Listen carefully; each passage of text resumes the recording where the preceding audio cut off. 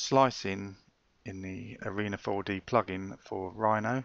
Um, currently using Rhino 6 in this video, although this interface um, applies to Rhinoceros versions 5, 6 and 7, so it doesn't matter which version you have, it will look and feel the same. So I've added a point cloud, you could add as many point clouds as you wish.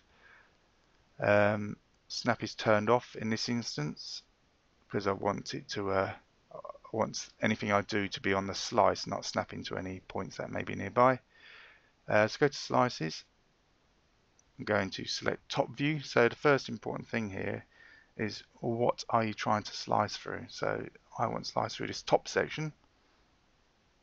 And as you can see, uh, the name been given here to the view is top. So that represents whatever you've named these. So in this instance, it's top. Um, I'm working in meters here and as you can see here I have a width option of 0.5 now if I zoom in here um, it chooses colors at random. I'm going to choose a color that's more visible. Um, this solid line represents the center of the slice and the dashed lines either side in this instance represent half a meter now if you were working in millimeters in your document and you copied what I'm doing here in this video, this 0.5 would be half a millimeter, so barely visible.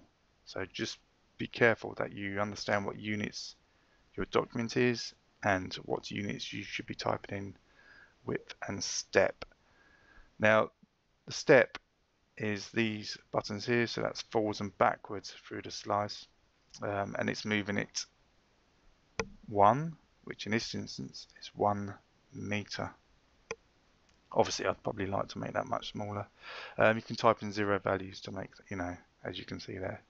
Um, the name, you can type in any name you wish. So you could call this elevation pipe work or pump work, whatever. The lock option does what it says. It locks the slice. You can have as many slices as you wish. So you may wish to lock just in case you're accidentally um, selecting. Enable does exactly that slices either on or off. Perspective view, very useful. Um, that's showing me in this instance a half meter slice through this pump. Just turn that back off for a second.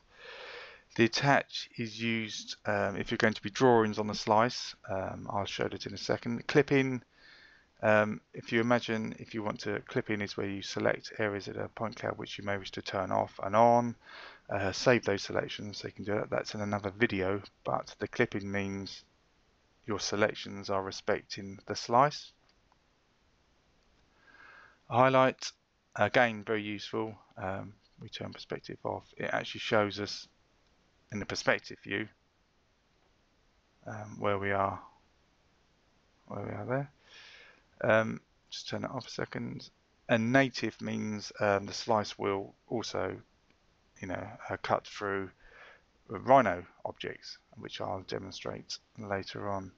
So what I'm going to do here is demonstrate the attach option. So if you can see here, I'm kind of, my elevation is roughly halfway up this pump here. Okay, so attach is turned on.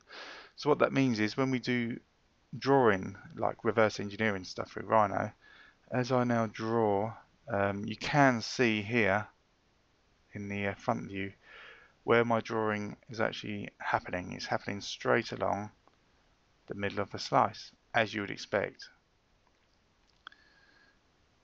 So finish that drawing there. If I highlight it, you can clearly see the uh, the polyline is bang in the middle of the slice.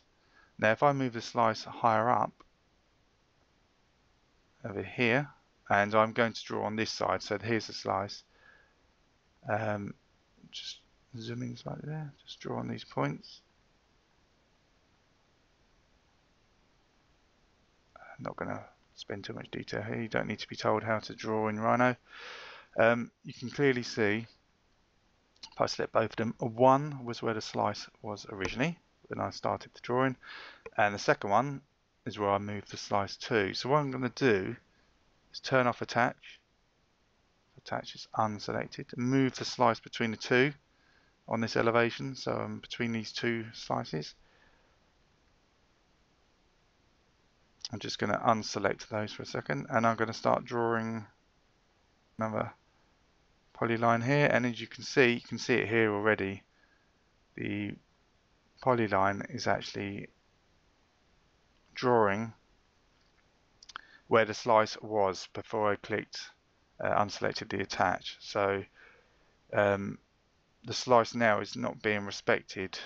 It is where it already was, but this is useful for moving through parts of the point cloud because you may wish to see other areas, um, say here for example, and draw this part here, but you want it to appear on that exact same uh, construction.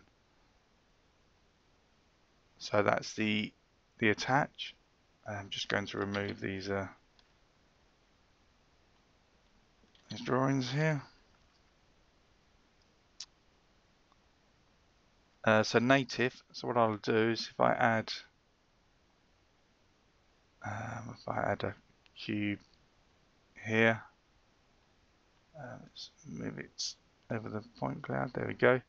Um, so here's, here's a cube, so if I now turn native on, you can see that the slice,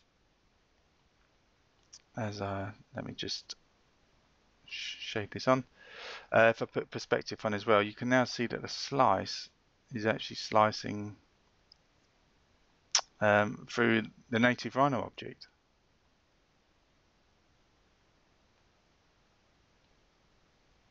Obviously, as well as the point cloud there. There's many more uh, slice options that can be seen here, and they will feature in additional slice videos.